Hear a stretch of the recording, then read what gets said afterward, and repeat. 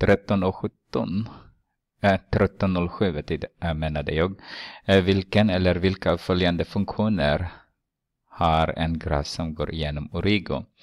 Äh, då heter den proportionellt då.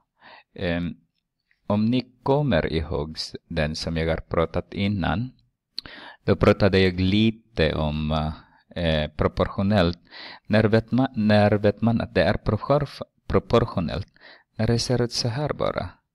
Den här är det vanligaste som ni kommer att se.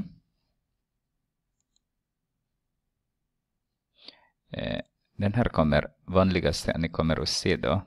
Så i är lika med kx plus m. Men om, om m är noll, alltså m är lika med noll, då ser det ut bara så här. y är lika med x. Det finns ingen m, det finns ingen startvärde. Alltså, den kommer inte att träffa y-axeln i origo. Så till exempel i A, m där, om ni ser där, den här som jag ringer in nu.